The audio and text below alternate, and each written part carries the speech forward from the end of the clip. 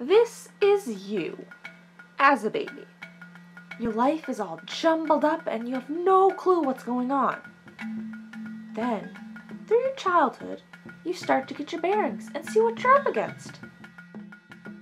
But that goes by so quickly, and you still have so much to do. So, you start working on what you can, what you know. This is a long but rewarding process. You accomplish one thing and move on to the next, and the next. Some things take longer than others, and every now and then there's a stumble. You figure it out.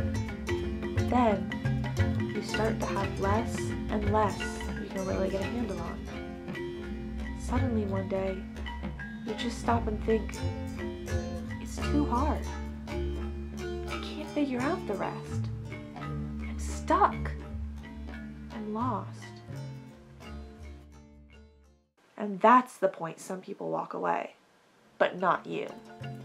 Because after a lot of searching, you realize if you just try, and if you just change the way you've been looking at things, pieces start falling into place. And it still isn't easy, but you do it. And when you're done, can just enjoy the beauty you've crafted.